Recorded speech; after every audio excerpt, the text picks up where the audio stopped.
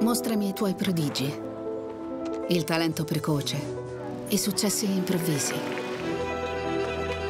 E noi ti mostreremo le notti insonni, le sveglie all'alba, le giornate in salita di chi non si arrende mai e che realizza grandi cose, un passo alla volta.